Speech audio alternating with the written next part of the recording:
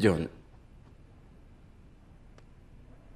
si yo te preguntara, ¿quién eres? ¿Qué es lo primero que te viene a la mente?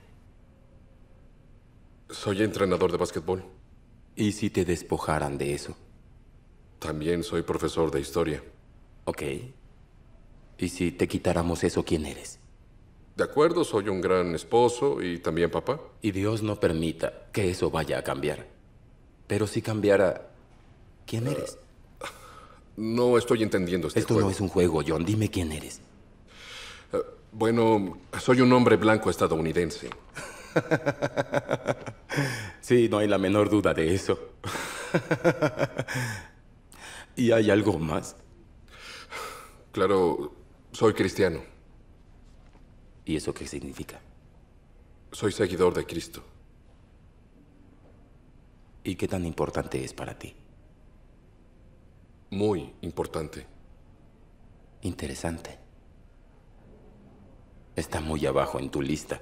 Oye, espera un momento. Pude haber dicho que era cristiano sí, primero. lo sé, pero no lo hiciste. Escucha, John.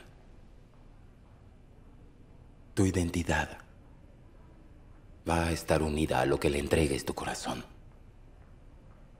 Y no parece que Cristo esté en primer lugar. ¿Insinúas que soy un mal cristiano? Déjame ser un poco más directo. La última vez que estuviste aquí, tú dijiste que orarías por mí. ¿Lo hiciste?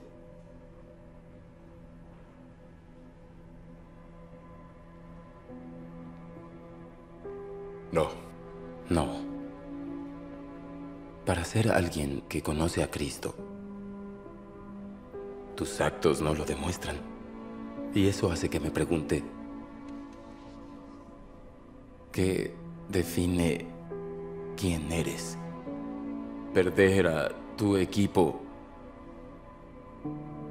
no solo te decepcionó, te destruyó. Alguien o algo tomará el primer lugar en tu corazón. Pero cuando encuentres tu identidad en aquel que te creó, cambiará toda tu perspectiva.